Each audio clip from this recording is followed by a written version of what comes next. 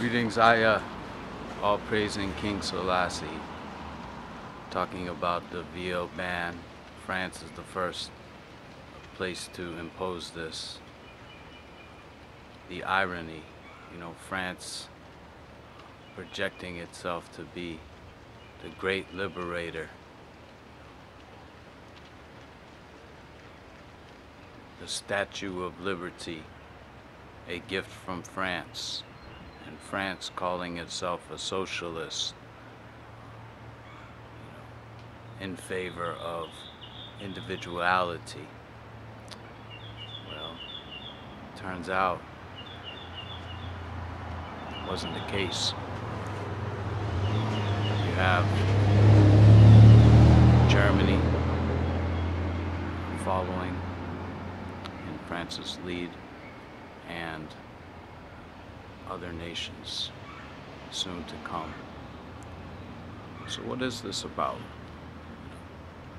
The so called liberalists say this is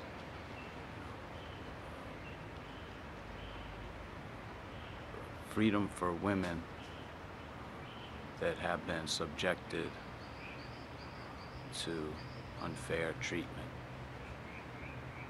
And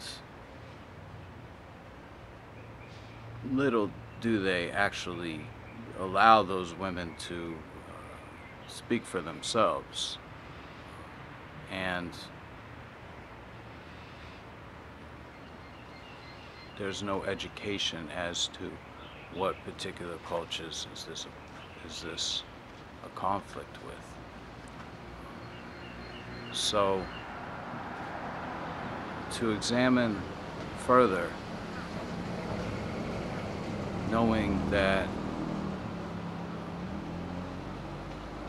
there is an effort to place digital communication devices throughout the world uh, that have the ability to record sound as well as visual signals and interpret what it is it is receiving certainly someone that is not willing to show their face could pose a problem to this process.